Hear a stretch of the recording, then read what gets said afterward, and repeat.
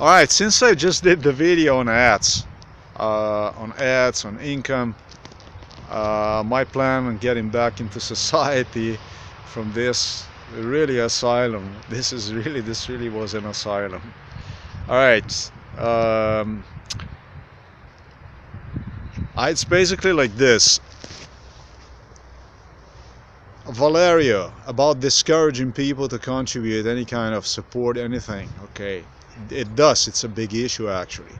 And Valerio, Valerio was the guy that I didn't like in, and I'm gonna say absolutely anyway.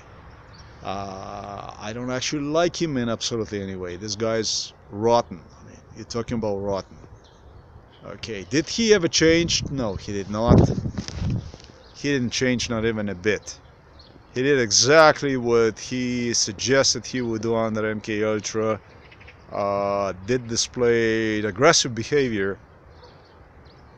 Um, he is sharp-minded, guys. Very sharp-minded individual. You know, was a police officer, and I properly have estimate him right now by saying sharp because I remember what he would be actually exercising or precisely the same methods I have used myself to sharpen my mind uh, he was using like American type tape test uh, mind sharpening. He would go and he would use literature and stuff like this to um, you know test himself on a variety of issues uh, within the specified time meaning that he would press his brain to the max to get it done as fast as possible.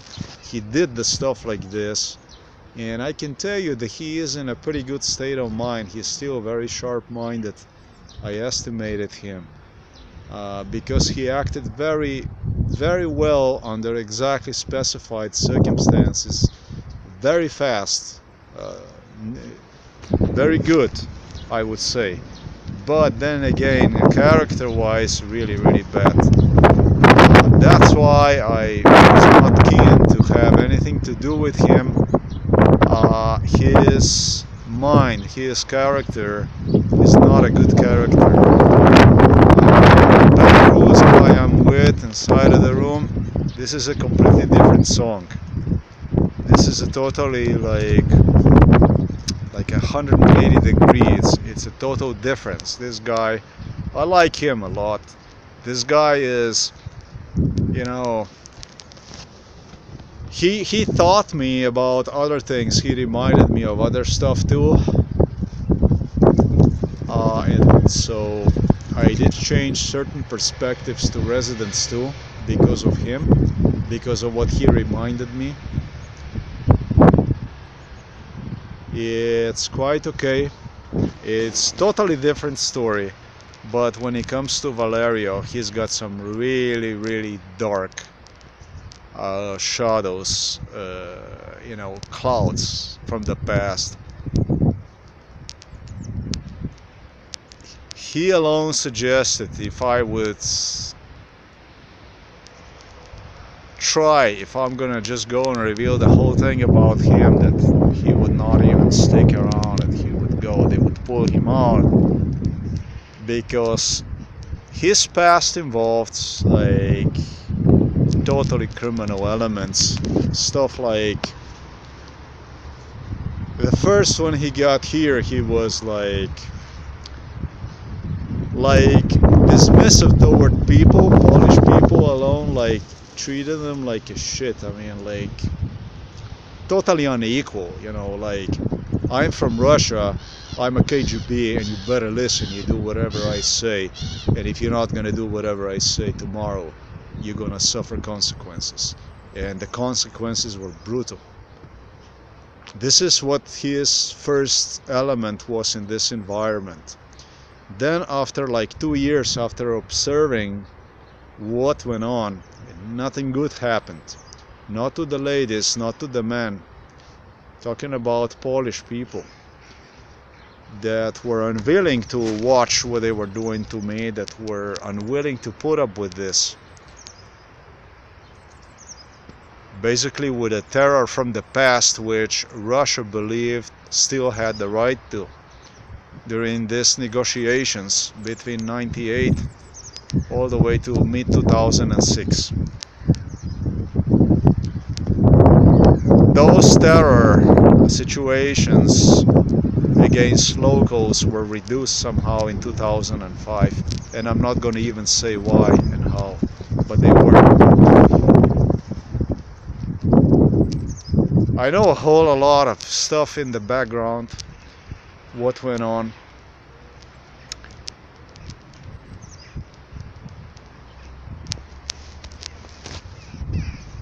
staff member told staff members told me alone that they will go and after this whole thing will end they will get impersonators that will look like me solicitors who would go to the homes of an environment where these things took place uh, basically in, in, which people were involved. Uh, people saw it and definitely they recorded it and so on. And these impersonators would just go and collect stuff from these people. Then they have a special crew over there inside of the Grotniki I already have mentioned that and it involves also librarian people organizers people who did who organized you know uh, who are involved in like a social life and so on to collect whatever anybody would have you know get involved like in a social level discussions and stuff friends you know tra la la la la but before you know your home get ransacked uh, without your knowledge with your work uh, and all kinds of stuff happens. Uh, the worst stuff that happened and that again involved Mr. Valeria that's why I didn't like the guy I don't like him at all. He's filthy guy is his mind is filthier than filthy. It was like because I would, you know, insist with on this psychologist throughout MK Ultra somehow. I don't know. I liked her because it was a young girl. It was crazy about me and uh, good looking and uh, you know, it, it just some way somehow I always find my way back to her even that they introduce other females and they mess you up with those drugs. And you express interest for other females but still somehow you always find a way back. But this guy was like trying to discourage and discourage and discourage do everything possible to discourage to push away uh, from her. This were the beginnings. Uh, but then he came to conclusion that if he cannot somehow succeed with that that he would just go and integrate her himself into her surroundings. And he started he created a bond with her and started to appear in her surroundings uh, basically anticipating that one way or the other you know that Russia is going to gain control uh, if not like this it's going to be through her and so on. This guy is super criminal now in final stages, that was the worst part about it. In the final stages, he suggested everything that went on. He observed. He was like observing everything about other staff members when they were with me. Observe everything what went on report it to Moscow. Straight to Moscow.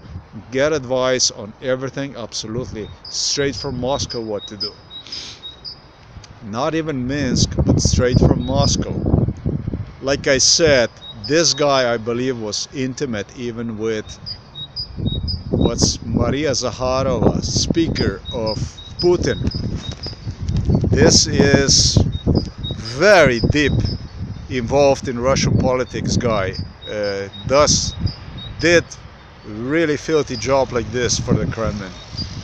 Okay, final stage what he did was he got two victims two people two polish that would not agree with this and they were like standing up against this whole thing no matter what. And he would get he would have people who would inform other people about who these people are. Basically socialized with these people, with these two victims that other people would know from the surroundings of Lodz and Zgierz city. And then what he would do is he would put a dead mark on them. In other words, he would tell the people in surroundings, in Zgierz and Lodz, that these two victims are actually going to be killed. They're going to die, and they're going to die in very bad way. This is at least what I was told by him personally. It is a filthy guy like this that tells you it's because of you. You have done this. It's not because he does his job. He found the people who had to die and organizes the whole thing, but it blames you, the victim, for what is going to happen next. And so, to discourage the people from coming forward, I understand they have even done something as filthy as this. Okay? So, that much about Mr. Valerio. Uh, do they have they taken any steps? Have CIA under Donald Trump, under George Bush, under Obama, have they done their precautions to cover up their dealings, criminal dealings, in this case against me, uh, throughout the West? I think they did. Uh, not even the parts for the car that was somehow I have escaped assassination in 90 in 2007 were never delivered to me from uh, from Germany and there were other instances when I did order the stuff and, and the money was simply gone. So thinking about how somebody's gonna contribute uh, pretty much ended you know even that I insisted on these contributions. Sometimes I was upset and I taken on people uh, it, it did upset me that it's people that don't want to contribute help me out but now I realize that uh, it's a little bit bigger whole thing. It's a little bit bigger deal. Uh, you are talking about the PayPal. You're talking about the banks. You are talking about, look, the bank declined me. Uh, I don't know if it was a bank. It could be also the city transit, but they denied me the payment to a public tram the other day. That should never happen. I had a sufficient amount of money balance on the account and it did happen. So I don't know I really don't know what exactly was going on with these contributions. I have seen other bloggers other people who did receive money. I can say I have never ever received dime a single dime all right? So that much about this. You don't have to look for Russians uh, Russian agents that kill uh, on behalf of Moscow. All you have to do is you have to look inside of the White House. That's all it is. There's one right there. Uh, thanks for watching this video. Till next time.